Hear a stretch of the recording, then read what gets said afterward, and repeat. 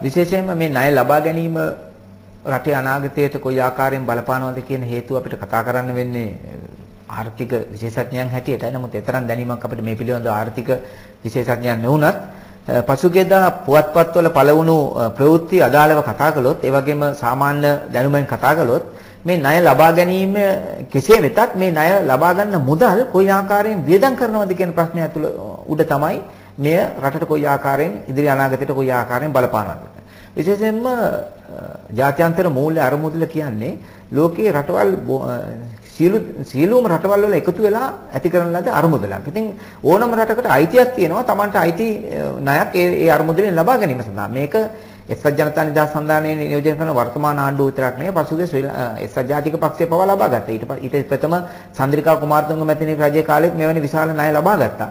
මේ ණය ලබාගෙන රටේ සංවර්ධනයට යොමු කිරීම තුළින් රට සංවර්ධනය කරා ගමන් කිරීමෙන් රටේ අනාගතය හොඳ වෙන්න ඉඩ තියෙනවා. විශේෂයෙන්ම කතා කළොත් මෙවැනි යුගයක ලෝකයේ මුළු මහත් ලෝකයේම ආර්ථික අර්බුදයක් කරා ගමන් කරමින් තිබෙනවා. මුළු ගෝලීය වූ ලෝකයේම ආර්ථික අර්බුදයෙන් වෙලී ගිහිලා තියෙනවා. විශේෂයෙන්ම ලෝකයේ දියුණුව කියන විශාල රටවල් පවා ඇමරිකාව, එංගලන්තය, ජපානය, කොරියාව වැනි රටවල් ආර්ථික අර්බුදයේ කුල ගිලී ගොස් අපිට වඩා ලොකු උද්දමනයකට මුහුණ දෙන්න තියෙනවා.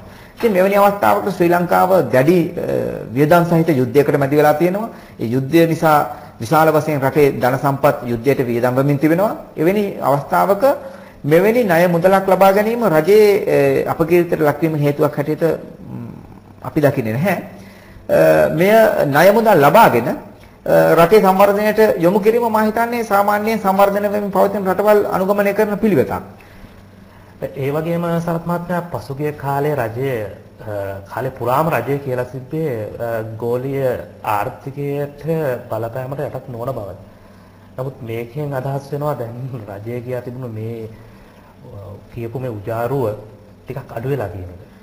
අත වශයෙන්ම ඇත්ත මුළු පසුගිය කාලය පුරාම විශේෂයෙන්ම අපිට මතකයි පවන රූපවාහිනී නාලිකාව ඔස්සේත් අපේ විදේශ ලේකම් පාලිත කොහොන මහත්මයාගෙන් මම ඔබේ වේදිකාව වැඩසටහනින් විමසූ අවස්ථාවෙත් ඔහු කියා සිටි එවැනි ආර්ථික අර්බුදයකට රට ගමන් කළ නැහැ කියලා.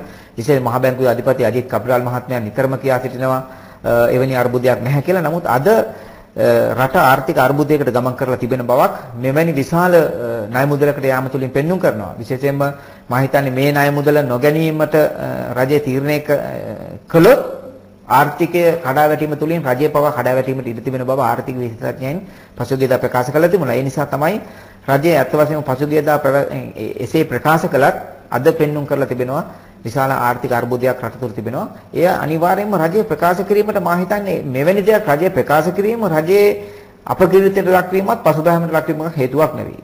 මුළු මහත් ලෝකයේම ආර්ථික අර්බුදයට ගමන් කරලා තියෙනවා. ශ්‍රී ලංකාව වැනි මම ප්‍රථමයෙන් ප්‍රකාශ කළ ආකාරයට ශ්‍රී ලංකාව වැනි දරුණු යුද්ධයකට මුහුණ දෙමින් සිටින රටකට ආර්ථික අර්බුදයකට මුහුණ දීම සිදුවීම එච්චර රජයේ පසුබෑමකට රජයේ අදක්ෂතාවයක්වත් නෙවෙයි ඒක. නමුත් එක පැත්තකින් විපක්ෂ චෝදනා කරන්නේ විශාල අමාත්‍ය මණ්ඩලයන් අසතු කිරීම සඳහා වැය වෙන මුදලක් විශාල මුදලක් වැය වෙන නිසා රට ආර්ථික අවපාතයට ගමන් කරන බව. ඉතින් මෙන්න මේක තමයි රජයට චෝදනා කරන්න තිබෙන්නේ. ඒ හැරෙන්න මා හිතන්නේ ලෝකේ සෑම රටක්ම ආර්ථික අර්බුදයට ආර්ථික අර්බුදයේ ගිලි ගොස් තිබෙනවා. ඒ නිසා මෙවැනි ණයක් ලබා ගැනීම රජයේ ආර්ථික අර්බුදයක් කරා වැටී තිබෙන බව පෙන්눔 කිරීම තුළින් රටට රටේ රජයට අපකීර්තියට හේතුවක් නෙවෙයි ඒක. ඒකම රටේ ආරක්ෂක තත්ත්වයක් අපි නිතරම අපි ඔබට ගෙනේවනවා. මොකද රටේ දරුණු ආකාරයේ යුද්ධයක් මේ අවස්ථාවේදී අපේ මානසික මෙහෙයුම ගියක් වෙන නිසා මේ මේ ගිය සතියේ පළව පුවත්පතක මම දැක්කා සරත් මහත්මයා කියලා තිබෙනවා විශේෂයෙන්ම රටේ ආරක්ෂක අංශවලින් අවසරයක් නොමැතිව සිංහල සහ හින්දු අලුත් අවුරුදු උත්සව වලට සහ විශේෂ උත්සව වලට සහභාගී නොවන ලෙස ජනාධිපතිතුමා තමන්ගේ ආරක්ෂක තමන්ගේ මැමති මණ්ඩලයට කියා සිටියා. ඉතින් මේ මේ මේ පුවත ඇතුළේ යම්කිසි භයංකර සිදුවීමක් මම දකිනවා. භයංකර තත්ත්වයක්. විශේෂයෙන්ම මොකද LTT සංවිධාන LTT සංවිධානයේ මේ වෙන විට තම බල ප්‍රදේශ ඉතාමත් කුඩා වෙලා තියෙනවා. හැකිලීමෙන් යනවා. මොකද රජයේ හමුදා හතර පැත්තකින් 50000කට අධික හමුදා බලෑනි කොටු කරගනිමින් සිටින LTT සංවිධානයේ නායකයා ප්‍රභාකරන් ඒ වගේම ඔහුගේ පුත්‍රයා චාල්ස් ඇන්තනි මේ වෙනුවට තුවාල ලබලා කියලා මම දැක්කා ඊයේ නිවුස් ප්‍රවෘත්තියක් පළ වෙලා තිබුණා. ඒ වගේම අනිකුත් නායකයන් ඇතුළු සියලු දෙනාම වර්ග කිලෝමීටරයකටත් අඩු ප්‍රමාණයකට දැන් කොටු වෙලා තියෙනවා. ඒ වගේම ඔවුන් යුද මුක්ත කලාපයේ ඉඳගෙන තමයි දැන් සටන මෙහෙයමින් තිබෙන්නේ. යුද යුද්ධයේ නැති ප්‍රදේශයට යුද්ධය අරගෙන යන්න LTT සංවිධානය දැන් සමත් වෙලා තියෙනවා. ඒ ප්‍රදේශවල ඉඳගෙන ඔවුන් මිසයිල් ප්‍රහාර එල්ල කරනවා. පසුගියදා හෙලිකොප්ටර් දෙකකට ප්‍රහාරයක් එල්ල කරා ඔවුන් මිසයිල් ප්‍රහාර එල්ල කරා. නමුත් රජයේ හමුදාවලට කරදරයක් සිදුුනේ නැහැ. ඒ තුලින් යලදී එහෙමට සමත් වුණා. ඉතින් මේ දරුණු ප්‍රහාර හමුවේ කොටි සංවිධානයේ මරාගෙන මැරෙන කොටි සෙබළුන් 20 ගණනක් කොළඹ ඇතුළු දකුණු පළාතට පැමිණ තිබෙන බව රජයේ මේ වෙනට සොයාගෙන තියෙනවා රජයේ බුද්ධ්‍යංශය විසින්. මෙන්න මේ මොවුන් පැමිණලා තියෙන්නේ ජනාධිපතිතුමා ආරක්ෂක ලේකම් මේ වගේ හමුදා නිලධාරීන් මැති අමාත්‍යවරුන් ඝාතනය කිරීමේ සැලසුමකටයි. ඉතින් ඒ නිසා තමයි මේ ජනාධිපතිතුමා මෙවැනි ප්‍රකාශයක් කළා තියෙන්නේ. විශේෂයෙන්ම අපි දන්නවා පසුගියදා මහින්ද මහින්ද විජේසේකර මහත්මයා බෝම්බයකට අහු වුණා. තවමත් ඔහු කොළඹ මහරුහලේ දැරිසත්කාරාංශයේ ප්‍රතිකාර ලැබෙමින් තිබෙනවා. එන්නේ ඒ සිදුවීමත් සමග තමයි ජනාධිපතිතුමා මෙවැනි ප්‍රකාශයක් කරේ ඉදිරියට පැමිණ සිංහල අලුත් අවුරුදු ඇතුළු උත්සව සමෙහි කිසිම අනුදැනුමකින් තොරව ආරක්ෂක අමාත්‍යාංශයේ අවසරයකින් තොරව මැති අමාත්‍යවරු හෝ කිසිම පුද්ගලයෙකුට මෙවැනි උත්සව සඳහා සහභාගී නොවෙන්නට. මොකද රජයේ හමුදා මෙවැනි දරුණු ප්‍රහාර එල්ල කරමින් සිටින නිසා කොටි සංවිධානය ඔවුන් මරාගෙන මැරෙන ක්‍රියාන්විතය තවත් පුළුල් කරලා තිබෙනවා.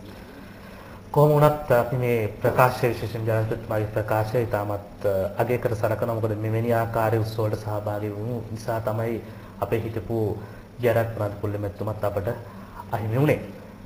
ඒකම සරත් මහත්මයා මම තව වෙනස් ආකාරයේ මාතෘකාවකට පොඩ්ඩක් යොමු වෙන්න කැමතියි. ඒ මොකද එක්සත් ජාතීන්ක සංගමයේ ආරක්ෂක මණ්ඩලයට ඉදිරිපත් කළ ශ්‍රී ලංකාවට එරෙහිව ඉදිරිපත් කළ යෝජනාවක් සම්මත කර ගැනීමට නොහැකි වුණා. ඉතින් මේ පසුගිය පසුගිය පුවත්පතක සැලවුණා. මේ මේ සම්බන්ධව පොඩ්ඩක් අදහසක් දක්වන්න. එක්සත් ජාතික එක්සත් ජාතීන්ගේ සංවිධානයේ ආරක්ෂක කවුන්සලයට ඕස්ට්‍රියාව මෙක්සිකෝ ඇතුළු රටවල් කිහිපයක් යෝජනාවක් ගෙනල්ලා තිබුණා ශ්‍රී ලංකාවට එරෙහිව සම්බාධක පනවන්න ලංකාව විශාල වශයෙන් මිනිස් අයිතිවාසිකම් උල්ලංඝනය කරමින් ද්‍රවිඩ ජනතාව සමූල ඝාතනයක යෙදෙනවා කියලා.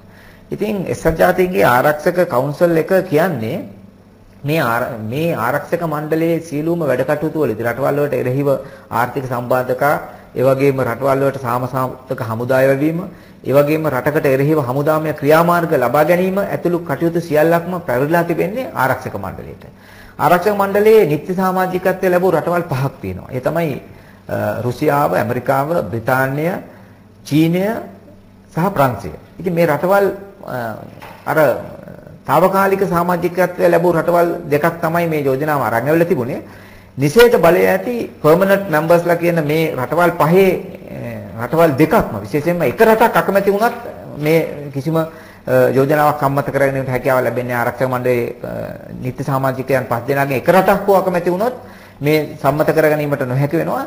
අපේ මේ යෝජනාවට එරෙහිව ශ්‍රී ලංකාවට විරුද්ධව ගෙන මේ යෝජනාවට එරෙහිව කතා කරා රුසියාවත් චීනයත්. මේ රටවල් දෙක කියා සිටියා ශ්‍රී ලංකාව තුළ දැනට පවතින්නේ මැතිවරණයකින් ප්‍රජාතන්ත්‍ර ප්‍රජාතන්ත්‍රවාදීව බලයටපත් වුණු රජයක් තම රට තුළ තිබෙන ත්‍ස්තවාදීන්ට එරෙහිව ගෙන යන යුද්ධයක්. මේ යුද්ධය කිසිසේත්ම ලෝක සාමයට බලපෑමක් ඇති නොවන නිසා මේක අභ්‍යන්තර ප්‍රශ්නයක් හැටියට සලකා එක්සත් ජාතික සංවිධානයේ කිසිම අතපෙවීමක් මේ සඳහා කළ යුතු නැහැ කියන යෝජනාව එක්සත් ජාතික සංවිධානයේ ආරක්ෂක මණ්ඩලයට ගෙනීමට රුසියාවත් චීනයත් අපිට උදව් කළා. ඒ නිසා එය නිෂ්පභා කරන්නට හැකියාව ලැබුණා එක්සත් ජාතිකයේ ආරක්ෂක මණ්ඩලයට. ඒ නිසා මම හිතන්නේ විශේෂයෙන්ම ශ්‍රී ලාංකිකයන් හැටියට අපි මේ අවස්ථාවේදී මෙවැනි යෝජනාවක් වෙනුවෙන් ශ්‍රී ලංකාව වෙනුවෙන් පෙනී සිටීම ගැන චීන ජනතාවටත් විශේෂයෙන්ම රුසියාවේ ජනතාවටත් අපි ප්‍රණාමයෙන් භක්තිය පුද කළ යුතුයි.